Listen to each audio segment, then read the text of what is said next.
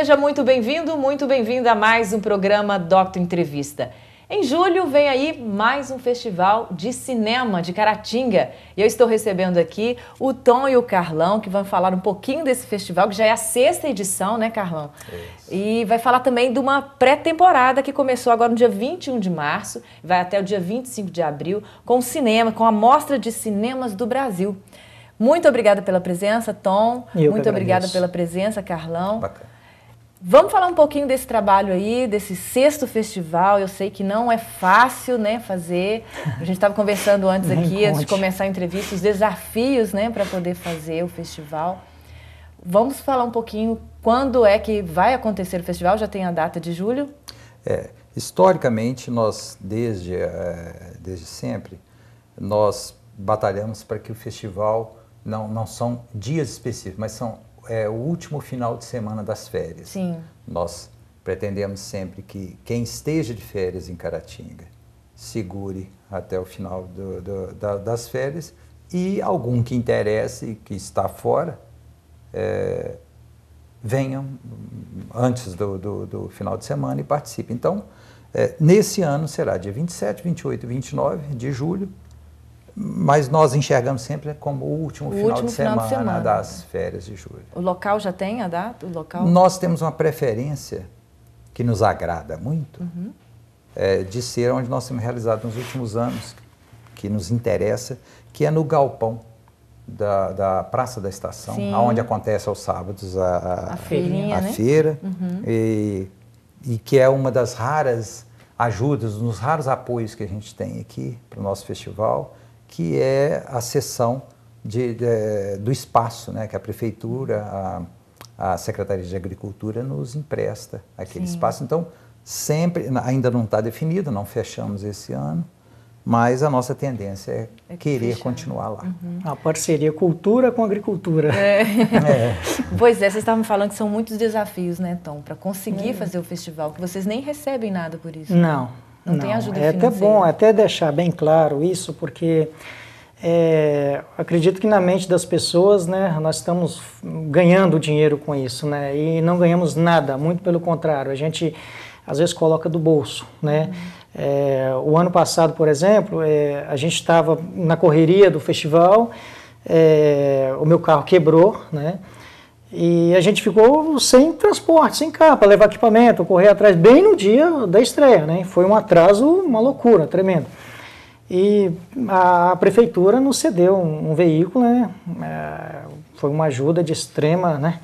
Porque bem na última hora, né? E, e nos cedeu esse veículo e a gente conseguiu dar sequência no, no, no nosso festival, né? É, mas assim, é, a gente não tem, não tem grana para isso, a gente faz na, na garra, na, na, na guerrilha, amor, né? né? E, e, é uma coisa que a gente né, faz por Caratinga, porque é um festival mineiro e nós trazemos, de certa forma, nós procuramos trazer é, público para Caratinga, uhum. tá? É, com o intuito de, de, de é, renomear mais a cidade, né? Uma cidade que já tem um mega nome, porque Caratinga é a cidade dos artistas, cara. É verdade. Cara, é, é, ó, semana passada eu cheguei de São Paulo e em conversas com algumas pessoas, inclusive produtores, né? Eu estava trabalhando na produção lá, e produtores conhecem Caratinga, cineasta, conhecem Caratinga, pô, cidade dos artistas, né? Conhece Miriam, conhece é, o Guinaldo, o Ziraldo. Então, e, e, entre outros, né, que nós temos aqui em Caratinga. E, então, por quê? Por que não sediarmos um festival é, de cinema, talvez, quem sabe, internacional em Caratinga? Uhum. Porque é uma cidade que tem potencial para isso. Uhum. Com vários nomes que nós temos fora da cidade, nós temos potencial para isso. Mas para isso, gente, a gente precisa empenhar mais, né? A cidade precisa empenhar, precisa nos ajudar, precisa nos apoiar, porque o começo nós demos, o primeiro passo nós estamos dando, já é o sexto ano consecutivo que a gente vem batalhando, né? Sim. E muitas vezes, né? É, é, alguns iniciaram com nós, mas desistiram. Por quê? Quem é que vai querer trabalhar de graça, gente? Ninguém é. quer trabalhar de graça. E a gente trabalha de graça, é verba, às vezes a gente tira verba do bolso Tá?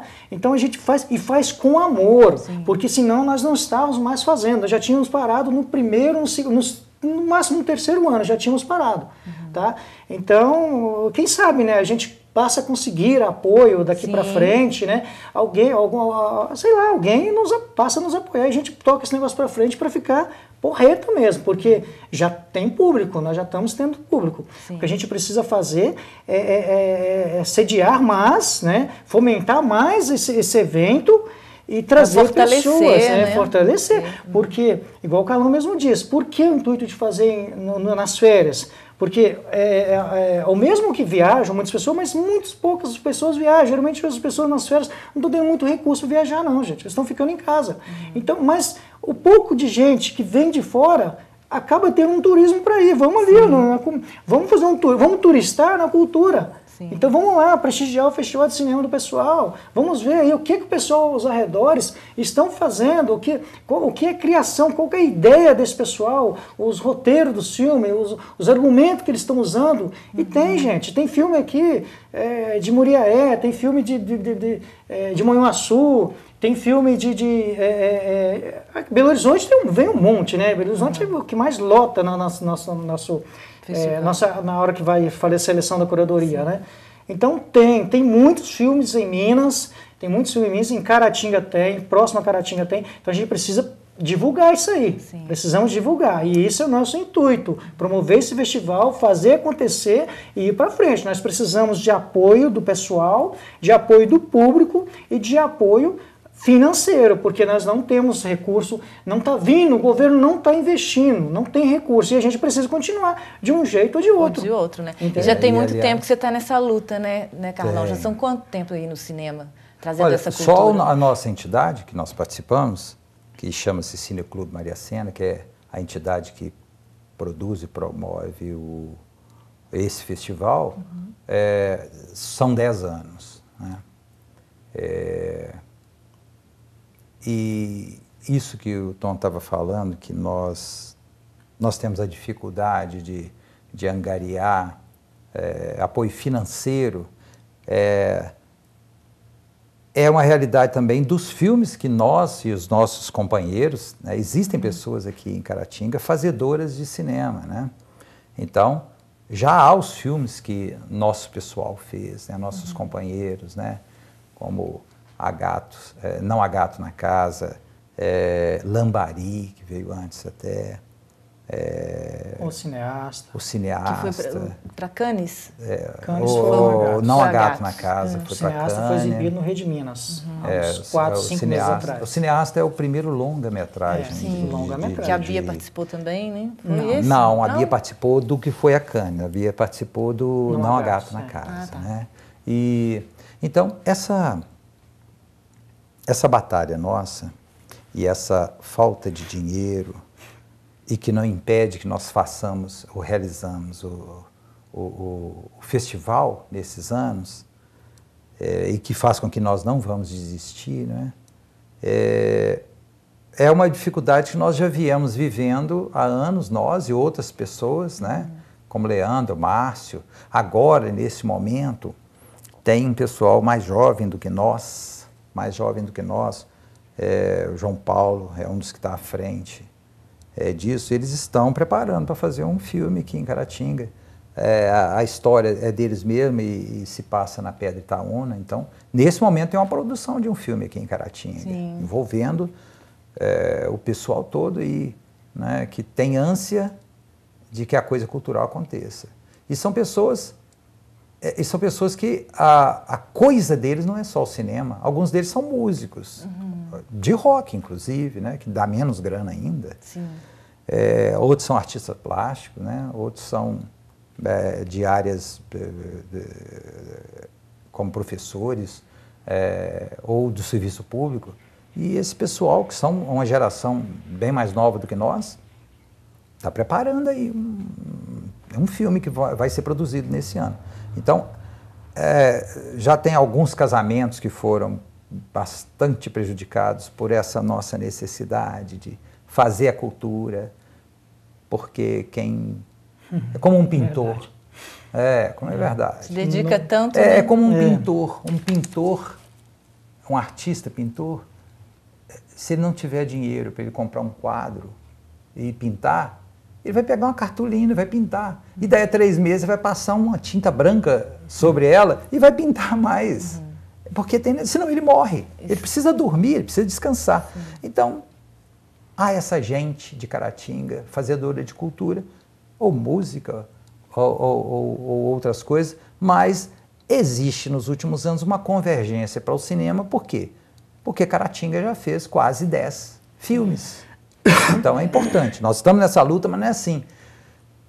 Não tirou de uma lata de, de, de, qualquer coisa a ideia de fazer um. Né? Primeiro nós fizemos cinema, nós Sim. fizemos filmes. Agora nós estamos fazendo uma mostra de cinema que tem muitas vezes pessoas de fora reconhecem mais do que as pessoas Sim, daqui. Como é veja você que é, o Zé Baroni e, e, o Pablo vieram, são pessoas do cinema do teatro, vieram, ofereceram. Nós vamos, nós estamos tentando é, conseguir dinheiro aqui para nós irmos e, e queremos oferecer um, um, curso de teatro. E vieram e ofereceram um curso de teatro. É. É, o, o Requião lá do, do, do, do, Rio de Janeiro tem um renome, desde os anos 80 ele tem renome é, como diretor, como iluminador, como cineasta. E, e, e, veio e falou assim, cara, você, ele usou até uma expressão interessante que as pessoas não, não, não, não sabem que é, se me derem um catre e uma comida, eu, eu, eu, eu vou aí, vou dar um curso de, de, de cinema, inclusive ensinar a fazer cinema com pouco dinheiro. Olha então é só. é isso. É. Pois é, eu fiquei fora muitos anos de Caratinga, voltei recentemente, né? Mas conheço um pouquinho da história através do Natan, da, Bia, que ah, veio contar sim. um pouquinho de vocês, né? Da luta de vocês para manter uhum. o cinema, para manter o festival, né? O Tom, que também é ator, né? A, é, a, também está sempre ajudando no cinema, né? Produtor né? Produtor. Cinema. Inclusive fez, recebeu alguns convites, nós vamos falar daqui a pouquinho dos convites que recebeu, né, recentemente. É. Mas enfim, é, nós vamos agora para o intervalo, daqui a pouquinho no próximo bloco vamos falar mais sobre esse Festival de Cinema e sobre a mostra, que é Mostra de Cinemas do Brasil, que já começou, começou dia 25, dia 21 de março e vai até o dia 25 de abril, toda quinta-feira. Mas daqui a pouquinho nós vamos dar mais de detalhes sobre essa mostra. Rapidinho nós voltamos.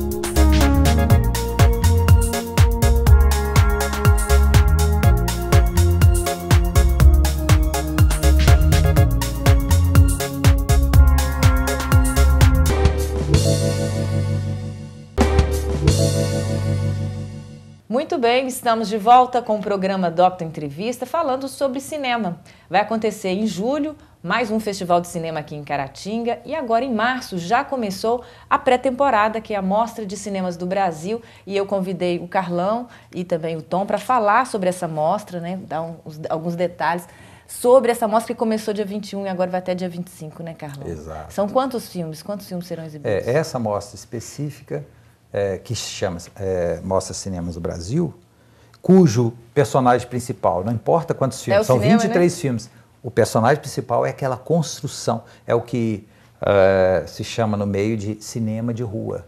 É, é como aqui em Caratinga nós tivemos é, o Cine Brasil e o Cine Itaúna, uhum. é, são os cinemas de rua. Vai contar essas histórias, né? É a história desses, dessas dessas presenças que aconteceram fortemente nos anos é, 40, 50, uhum. Até anos 80, em diversas partes do Brasil. Então, são, são curtas-metragens, são 23, curta é, 23 filmes, sendo que a última sessão é, vai ser um longa-metragem, mas o personagem principal é, é o cinema, é a construção do cinema, o que aquele cinema, uh, o momento de ir aquele local, de encontrar as pessoas, inclusive aquela coisa uh, de namoro, né? muito, muito casamento Daquela começou época, né? naquelas né? coisas, uhum. naquele, naqueles lugares. Então, é, a mostra tem filmes de, do norte do Brasil, do nordeste, do sul, da, da região sudeste, do centro. É, e é um panorama imenso do que, que significava naquelas cidades. É, Existem alguns filmes, inclusive um dos melhores da, da, da de, do dia da abertura, né? É, que se chamou Uma Balada para Luke. É, falava de um camarada que trabalhou no cinema, ele era tão influenciado e as pessoas falavam que parecia com um camarada de, de faroeste e ele incorporou aquilo, ele viveu como se ele fosse mesmo aquele camarada. E as pessoas entrevistadas nesses filmes todos, inclusive nesse, é, falam de como a vida deles foi encaminhada por aquilo, da lembrança daquilo. Uhum. E hoje eu trabalho em tal coisa porque eu fiquei influenciado por alguma coisa da, do, do, cinema, daqueles dias. Tem um, um, uma das cidades lá que havia uma sirene. A sirene tocava e anunciava que daí a, a meia hora iria iria o começar o cinema. Aí daí a 15 minutos ela tocava novamente, ó, tá quase na tá hora. Quase na hora. Depois ela tocava e todo mundo sabia, começou, começou. a sessão. Tinha uma que sirene legal, na cidade, né? Uhum. Sempre são centrais, né, essas construções uhum. do cinema e muito simbólicos. Então né? são essas histórias que são contadas são nessa mostra. Né? O personagem principal é o, é o prédio, prédio, do, do cinema, cinema, e a, a, história das projeções. História. Uhum. É, local. Esse, essa mostra, a nossa, a nossa, é, nosso festival, né, que é na última, no último final de semana de, de dezembro, nos últimos anos, de, de julho, julho. perdão, é, nós temos feito nos últimos anos no, na, na Praça da Estação. Ah, né? tá, mas a mostra... E a amostra nós estamos realizando na Avenida Moacir de Matos 291, nos fundos, é onde era o mosteiro ah, da, da cidade, que hoje é, tem em frente, a referência é o, é o supermercado, supermercado né? Coelho Diniz, uhum. e é o número 291 da Avenida Moacir de Matos. Na hora que se vê aquele prédio velho, antigo, à, dire... à extrema direita tem uma vila e logo antes da vila tem um, um, um beco. Então é na, nos fundos ali, que é um local interessante, é, nos interessa muito, é, nós, perdão, eu bati no, no microfone. Não tem problema não. É nos interessa muito como cineclube é, que mais coisas aconteçam ali, porque eles construíram ali no fundo, eles construíram um, um local de, de, de, de, shows ou de palestras com a inclinação exata que deve ter Olha de um cinema. É, não é enorme, tem, cabe 70 pessoas, mas é um luxo Atende, ter, né? ter. Além é um do luxo. acervo, né? Sim. Do acervo é. fotográfico da, da, do crescimento de Caratinga. Acompanhando, ah, lá né? tem um local tem. de, de acervo. É um museu ah, em Caratinga, mas não um museu de pinturas ou esculturas. É um museu né? de fotos, de bacana. documentos, de documentos é. históricos. Documentos. Super interessante para alunos, é, né, irem não demais. só participar da mostra, mas também Isso, conhecer é mais a história. Que legal. Alunos começaram a frequentar lá também. Sim, bacana. É, os horários Lembrando que é de, gratuito, né? É, sempre. O nosso, nosso, nossa entidade, o Cineclube Maria Sena, jamais participa de algum evento que seja cobrado. Nós não realizamos e já houve casos que estávamos participando, co colaborando com, de alguma forma de algum evento e na última hora resolveram que por causa de alguém que ia fazer uma das coisas lá, teria que cobrar porque a pessoa exigia tal, aí nós demos licença e, e uhum. dias antes dissemos que não iríamos participar. Nós somos sem fins lucrativos, Sim. né?